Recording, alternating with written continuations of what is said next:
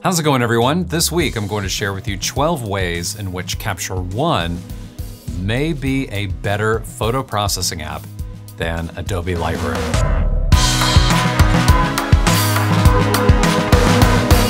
Good to see you again. My name is Todd Dominey. I make videos every week here on YouTube on the topic of landscape photography. I do uh, product reviews of photography gear, and I also do uh, photo processing tutorials as well. So this week I'm going to be talking about Capture One after last week when I did uh, a video highlighting 10 of my favorite tips and uh, photo editing techniques using Adobe Lightroom. I have been using Adobe Lightroom since the very first beta when it came out. And I mean, I've been using Photoshop since, I mean, it's, yeah, it's, it's uh, a very long time. I mean, I guess you could say I'm kind of a diehard Adobe user. I've been using Lightroom and Photoshop for so long. I'm so comfortable with them. And I've just, quite frankly, never seen the point of trying out anything different. But all that changed a few weeks ago, where I've just been hearing things over the past, you know, two to three years about Capture One. And I decided, you know what, I'm gonna download it, I'm gonna give it a try, and you know, just out of curiosity and just see how different it is from Lightroom and Photoshop. Uh, before we start talking about Capture One though, there are a couple of uh, small items of business that I want to get to. I've had some people contact me and ask me about prints, people who are curious to know if I sell uh, prints of my landscape photography work. And up until this point, the answer has always been no. Not out of a philosophical thing or anything like that, but just simply because I just wasn't selling them at the time. I wasn't creating them.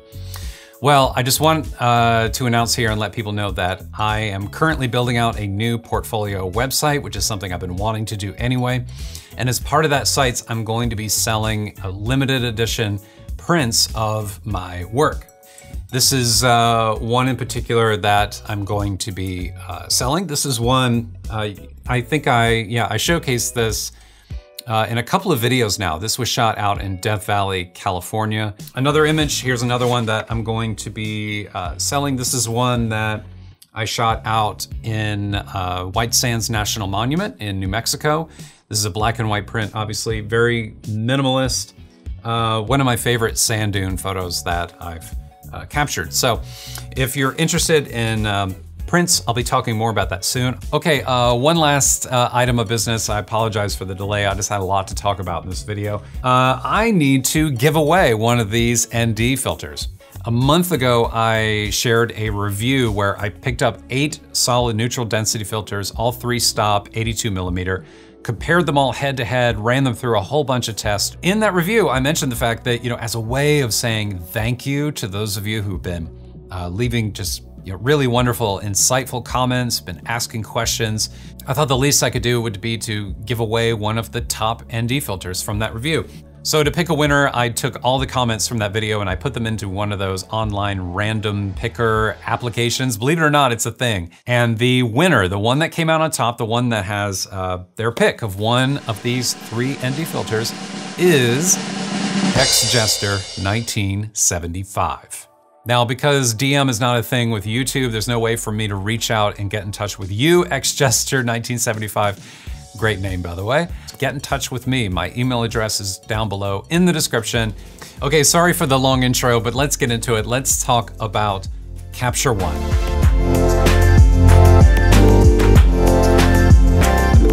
If you've never heard of Capture One, Capture One is not made by Adobe, unlike everything else in the world.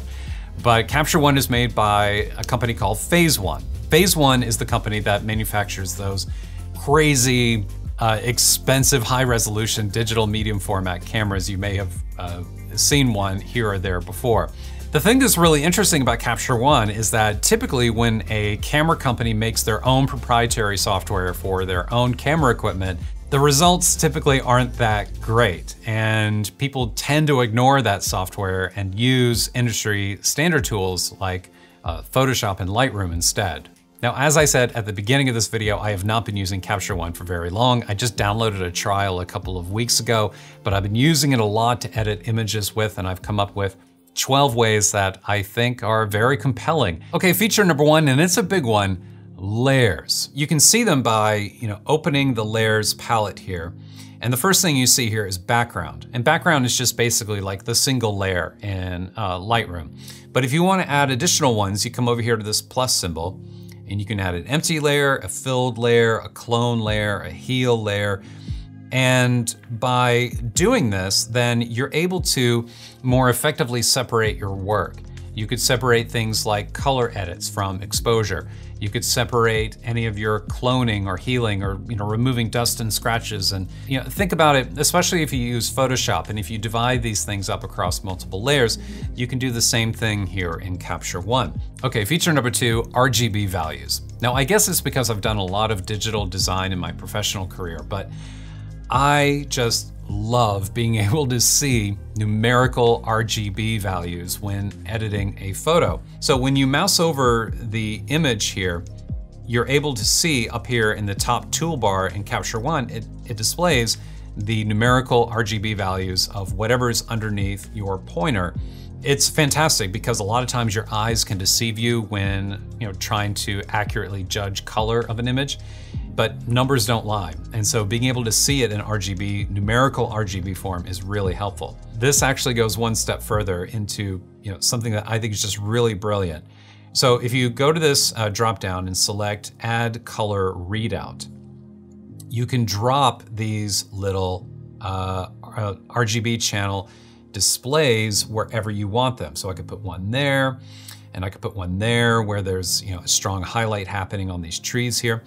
The reason this is useful is because if you're doing product photography or really any kind of work where you want to make sure that not only is your white balance correct, but you want to make sure that your uh, your shadows and your highlights are color neutral as well, because sometimes you can get color cast in one of those areas.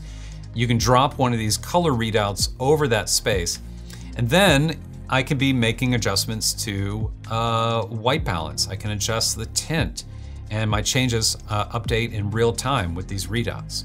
Okay, feature number three, presets in Capture One are contextual to the controls. What does that mean? Well, if you currently use Lightroom, you are undoubtedly familiar with presets. You know, presets are a way of saving settings from the develop panel. And the way that Adobe uh, design presets is that a preset in Lightroom can include you know, values for everything in the develop panel, I mean, like every single setting, or it could just include like one uh, settings change. It's literally a one size fits all approach. The way that Capture One did it, however, the way that uh, makes this app different is that presets are contextual. So for example, I could come down here to film grain, open this preset drop down here, and I can see that Capture One comes pre-built with uh, some built-in uh, presets that I can choose from to be applying film grain. But then, as you can see, I can also create my own value from film grain. I can save it as a preset. I can then share that preset with someone else. Is it better to have presets contextual and localized to the controls, or is it better to have all your presets in one panel that you can go to as they are in Lightroom? I mean, I guess it depends on how your own brain works uh, and what you're uh, what you're comfortable with. But I have to say, I'm very surprised uh, how much I like having presets uh, just right where I'm actually doing the work, and that way I know where they are. Feature number four: superior handling of highlights. Now, I have to say, this really took me by surprise when I started editing a raw file, an image that I was already very familiar with in Lightroom and seeing how it uh, would be processed by Capture One.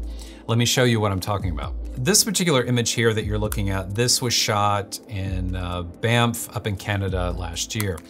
And it's intentionally a bit blown out. This is actually one frame of three separate exposures that I shot in order to create an HDR image. As you can see back here in the background, these peaks are you know, rather blown out. You know, it's, it's actually almost clipped. If I mouse over the highlight uh, clipping up here, you can see this little red patch down here. Now, what you can do in order to you know, help normalize the image and bring back some of the detail there is to drop the highlights uh, down. Now let's take a look at the exact same thing, exact same technique in Capture One. I'm going to switch over to Capture One. And now this is the exact same raw file. If I come over here to where highlights are, which is in this panel called high dynamic range, and then drop highlights down, again to, let's just go all the way to negative 100, there is a, a noticeable difference between how Capture One handled the highlights in this region versus Photoshop. I'm going to show them side by side here for you so that you can see the Capture One on the left and Lightroom on the right. And I think you will agree that, I mean, there is a real difference between the two.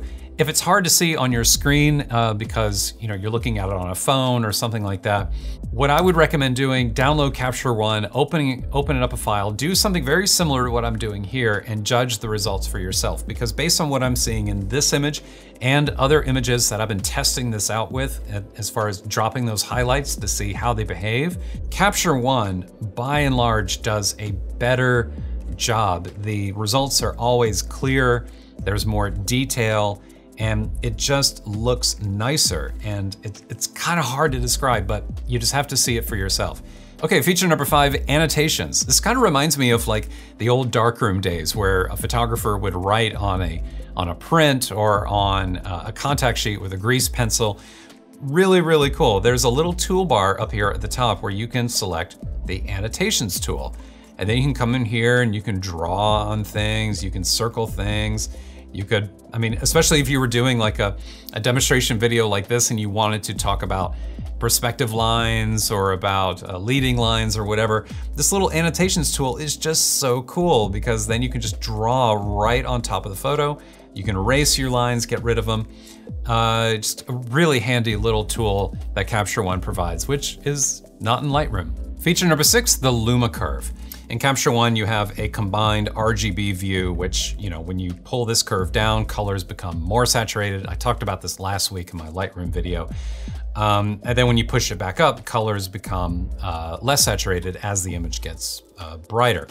But the one thing that Capture One provides, which is very unique, and usually you've needed Photoshop uh, to do this, not with its curves tool, but with other tools, and that's too complicated to get into. But what Capture One provides is a Luma curve. And what Luma does, Luma is a lot like the RGB curve, in which if you push uh, the curve up, then the image gets brighter. But then watch what happens when I pull the curve down. The shadows in the darker areas of the image get darker, but the colors are left alone. The colors don't become more saturated, unlike the RGB view, or rather the RGB curve, where everything just gets really dense and muddy, and then you have to go into your HSL panel and start pulling out saturation. Luma is, you know, just, it, it only affects the luminosity of a pixel. It doesn't change the underlying uh, color that's associated with it. Feature number seven, graduated filters have access to every setting, not just a subset of them. So here we are in Lightroom here, and let me just draw a graduated filter on top of the uh, image here. Now, when you do that, the uh, filter has its own little sub menu here that shows exposure, contrast, highlight, shadows. But the thing is though, is that this is only a subset of what's available in the develop panel. There are certain things missing, like you can't um, be making adjustments to vibrancy. You couldn't use a, uh, a curve or anything like that with a graduated filter. You have to use one of these uh, values as part of this sub menu of options. Whereas in Capture One, the way that it does it, if I come up here and select a linear gradient mask, and then draw this on top of the photo, you'll see that in the left column over here, all of the values reset back to their default value. And that's because I'm now editing a mask. So masks, you can go in and change exposure, saturation, clarity, curves, whatever it is you wanna do. You have access to everything in this panel. Okay, feature number eight, visual color adjustments. If you've ever watched someone else do a Lightroom tutorial video and they're editing color, chances are you've probably seen them do something like this. And they'll take a slider in the HSL panel and they'll move it all the way to the left, they'll crank it all the way to the right. And the reason that you know people are doing that is because when you're moving these sliders, it's not immediately apparent, you know, what in the image is going to be affected when you start moving a slider. Now there is a way to be a little more targeted. You can select this little um, targeting tool here. I could click on, click and hold in the sky and then move up and down, and that'll push the corresponding hue sliders uh, left and right over here in the hue panel. So what's brilliant about Capture One is I'll switch over here and use a different image so it's a little bit easier to see on a video. In the color panel, in the color editor panel, inside of the color uh, column over here, if you go to advanced and then use this eyedropper tool here, let's just click on the sky. And at first it doesn't seem like much is happening, but if you keep scrolling down, you'll see this checkbox for view selected color range. Toggle that on and you can see that now it's almost like a mask has been applied. And while I'm here, I should also point out it has this really awesome uh, color wheel here. And this is somewhat similar to a video editor tool where you can uh, decrease or, or, rather expand the range of, of hues that are selected here. You can compress it as well. You can come down and make all kinds of adjustments to hues, saturation. And by the way, this is uh, getting back to my earlier point about layers. Well, that pattern resurfaces here in the color editor because I can then, let's just say, let me toggle this off really quick. I can then use the same color picker. I can pick blue, and now the blue tones in my image have been selected. And the reason this is so helpful is because it's then it's the selection is already saved. So I can go back later if I made adjustments to color and then started doing some things with exposure or whatever, and then felt a need to go back and change those colors again, maybe shift their hue a little bit or their saturation. I can do that really easily because it's saved as one of the layers here in this panel. Feature number nine, skin tones. Now, I am not a portrait photographer, so this isn't really applicable to me, but if you do uh, portrait work and you find yourself spending a lot of time editing skin tones because skin can be really difficult to edit, you might want to give Capture One a try because down here in the color editor panel, there is a dedicated section for skin tone. And what's really interesting is that, you know, like I did before, you can select a particular uh, hue and then you can adjust you know, smoothness, hue, saturation, lightness, all of that. But then there's this additional box here for uniformity. And the reason uniformity is a thing is because with skin tones, oftentimes you can get kind of darker, uh, patchier areas like, you know, say like under a chin or somewhere where the light just isn't quite as even and the hues may shift. And what you wanna do is, is, is create some uniformity in the color of, of your skin tone that you're editing. And that's exactly what this tool here is with available options for hue and saturation and lightness. Feature number 10, the loupe tool. If you remember back in the day when Apple had a program called Aperture that was a competitor to Lightroom for a time, it had a really fantastic loupe uh, interface where you could just quickly you know, pan over an image and zoom into a particular area and get a closer look at it without having to manually zoom in uh, you know, as you would like in Photoshop or Lightroom. Well, Capture One has a very similar type of loupe interface. And you can select it up here in the toolbar, click and hold on any region, and a high resolution uh, preview of that area loads into the loupe tool. So you're able to see what's going on with uh, that specific region of the image. Now, one other thing I noticed about the loupe tool in Capture One is the fact that when you move this around the image, within the histogram, the levels, and the curves over here on the left side of the panel, you'll notice this uh, vertical orange line. And what that is showing is that you know, whatever is currently underneath the loupe tool, it is showing you where on the histogram that specific area lines up. Feature number 11, normalize. Now this panel isn't visible by default in Capture One, so to find it, you have to go up here to the window menu, go to create floating tool, and then select normalize. Now what Normalize allows you to do is, this is you know, particularly important if you're doing any kind of product photography or something where color and getting exact matches of color between images is, is uh, important to you. Um, because, well, say for example, there's a particular shade of red and you wanna make sure that that specific value of red is exactly the same across a, an entire range of photos, you can use the normalize tool here to pick that color and then to be adjusting uh, your white balance and the exposure of the image in order to make those colors match. Okay, final feature, number 12, guides. Now, again, maybe it's because of my design background, I don't know, but I just love the ability to see what's happening in an image by adding guides to it, especially if I'm trying to um, you know, level an image or do some kind of transform to fix some distortion in it. Guides are not visible by default in Capture One. So you just come up here to the View menu, scroll down here to Guides, turn them on, and then go to Customize Guides, and you can add a horizontal guide.